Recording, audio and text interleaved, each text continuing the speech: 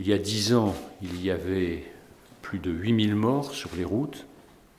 En 2011, nous sommes pour la deuxième année sous le seuil des 4000 tués.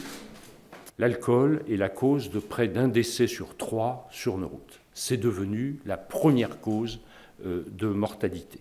Même si ces résultats sont encourageants, il est clair que le nombre de personnes tuées ou blessées sur nos routes reste encore euh, trop élevé nous devons aller euh, plus loin, plus loin pour nous rapprocher de l'objectif dont nous sommes absolument convaincus qu'il est atteignable, qui a été fixé par le président de la République, qui est de passer sous la barre des 3000 morts. Au 31 mars prochain, il y aura obligation pour les automobilistes de détenir dans leur véhicule un éthylotest individuel. C'est un tout petit équipement qui coûte moins d'un euro.